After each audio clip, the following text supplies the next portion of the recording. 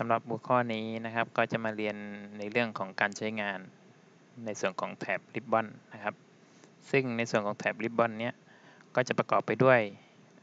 สองส่วนหลักๆด้วยกัน ก็คือแถบแรกตรงนี้นะครับ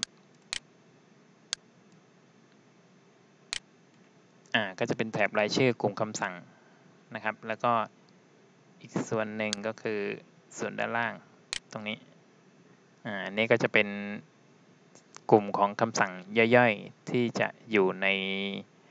แต่ละริบบอนนะครับ ในแต่ละเมนูอ่าทีนี้มาดูเมนูริบบอนอันแรกนะครับ ก็คือตัวโฮมตัวโฮมนี่ก็คือจะเป็นหน้าแรกนะครับหน้าแรกของแท็บส่วนแรกตรงนี้นะครับ ก็จะเป็นส่วนของคลิปบอร์ดนะครับก็จะมีเครื่องมือสำหรับใช้ในการจัดการในการคัดลอกการก๊อปปี้การวางนะครับ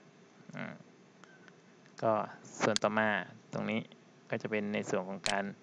จัดการเกี่ยวกับสไลด์นะครับก็จะมีเครื่องมือในการทำงานเกี่ยวกับสไลด์ในส่วนนี้ อย่างเช่น การสร้างสไลด์ใหม่นะครับ การจัดระเบียบ Layout การรีเซ็ต การจัดการในส่วนของ Section ส่วนถัดมาตรงนี้ก็จะเป็นในส่วนของฟอนต์นะครับ อันนี้ก็ใช้สำหรับจัดการข้อความต่างๆนะครับ จัดรูปแบบฟอนต์ตัวหนาตัวเอียงตัวขีดเส้นใต้ การปรับฟอนต์ให้ใหญ่ขึ้นให้เล็กลงนะครับ การใส่สีต่างๆของฟอนต์ก็จะอยู่ในส่วนนี้นะครับถัดมาตรงนี้นะครับก็จะเป็น ในส่วนของตัวพารากราฟนะครับ อันนี้ก็ใช้สำหรับจัดระเบียบรูปแบบการแสดงผลของข้อความหรือว่าวัตถุนะครับ การจัดตำแหน่งอะไรพวกนี้นะครับ ตัวต่อมาก็จะเป็นเครื่องมือในส่วนของตัวรูปวาดอันนี้ก็ใช้ในการจัดการเกี่ยวกับการวาดวัตถุต่างๆนะครับ การ สร้างกล่องข้อความวาดวงกลมวาดสี่เหลี่ยม วาดลูกศรนนะครับ ก็จะอยู่ตรงนี้นะครับ อันนี้ก็จะเป็นกลุ่มเครื่องมือที่อยู่ในตัวแถบโฮมนะครับ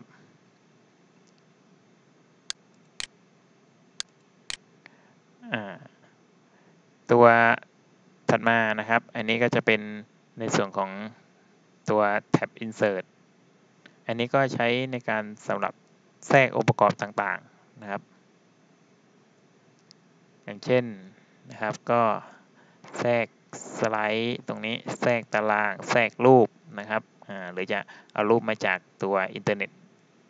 การจัดภาพหน้าจอสร้าง Photo Album นะครับ SmartArt Shape Chart นะครับอันนี้ก็สามารถที่จะสร้างได้ในเมนู insert ตรงนี้ก็ยังมีอีกหลาย รื่องมือนะครับที่สามารถใช้ได้ตรงนี้แทรกวิดีโอแทรกเสียง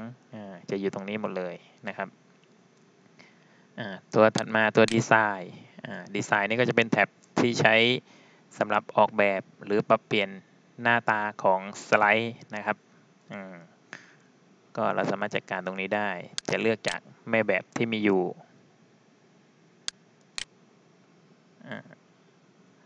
เสร็จแล้วก็มาปรับเปลี่ยน นะครับ ตรงสี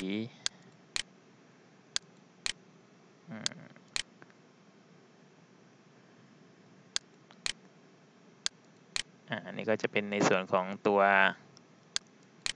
ดีไซน์นะครับสำหรับใช้ในออกแบบตัวแม่แบบในการนำเสนอ ตัวถัดมานะครับก็จะเป็นในส่วนของ transition ส่วนนี้ก็จะใช้ในการเปลี่ยนนะครับสไลด์ในตอนที่เราที่เรานำเสนอนะครับก็สามารถคลิกดูตัวอย่างได้นะครับ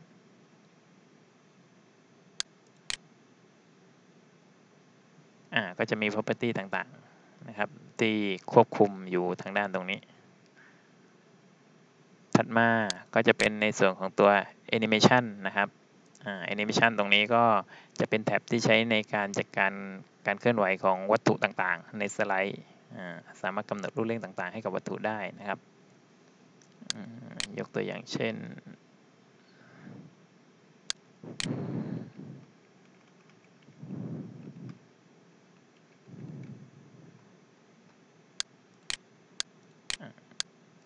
เราคลิกเลือกวัตถุนะครับ จากนั้นก็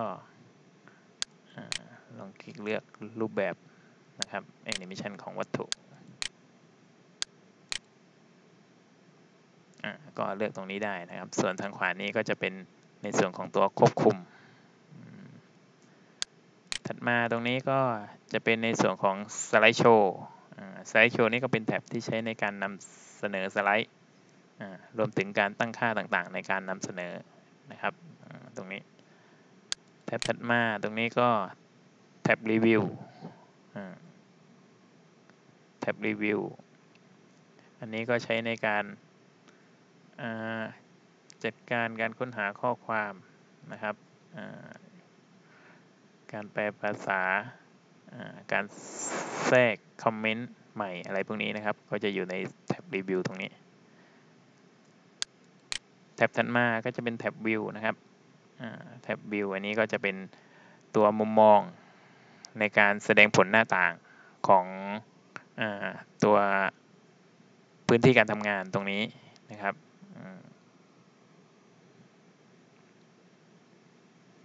ก็สามารถคลิกได้นะครับมุมมองหน้าต่างก็จะเปลี่ยนไปนะครับแท็บถัดมาตัวนี้ก็จะเป็น add-on ต่างๆที่กรณีที่เรามีการติดตั้ง add-on เพิ่มเข้ามาในโปรแกรม PowerPoint นะครับ ก็จะมี add-on โผล่ขึ้นมาตรงนี้นะครับแต่สุดท้ายนี่ก็จะเป็นในส่วนของกรณีที่เราต้องการที่จะส่งไฟล์ PowerPoint ของเรา หรือว่าไฟล์นำเสนอของเราให้อยู่ในรูปแบบของไฟล์ PDF นะครับ ก็มา ในส่วนของเมนูตรงนี้สำหรับในการใช้งานกลุ่มเครื่องมือในแต่ละตัวนะครับ ก็จะมีฟังก์ชันการทำงานเพิ่มเติม โดยเราสามารถที่จะเปิด Dialog Box ขึ้นมาได้นะครับ โดยการคลิกที่มุมล่างขวาของตัวกลุ่มเครื่องมือแต่ละตัวให้คลิกที่สัญลักษณ์ตรงนี้นะครับ อันนี้ยกตัวอย่างนะครับ เราก็จะเปิด Dialog Box ในการ จัดการเกี่ยวกับตัวฟอนต์ของตัวอักษรนะครับ ก็คลิกขึ้นมาอ่าก็จะเจอหน้า Dialog Box สำหรับจัดการฟอนต์เราก็สามารถที่จะกำหนดรายละเอียดต่างๆ เพิ่มเติมตรงนี้ลงไปได้นะครับตรงชุด Dialog Box อื่นก็เช่นเดียวกันนะครับคลิกขึ้นมาก็จะ มีเดลบล็อกเพิ่มขึ้นมาให้นะครับ ก็เราสามารถที่จะจัดการตรงนี้ได้ ครับ อันนี้ก็จะเป็นในส่วนของการแนะนำในกลุ่มเครื่องมือที่อยู่ในแถบริบบอนต่างๆนะครับ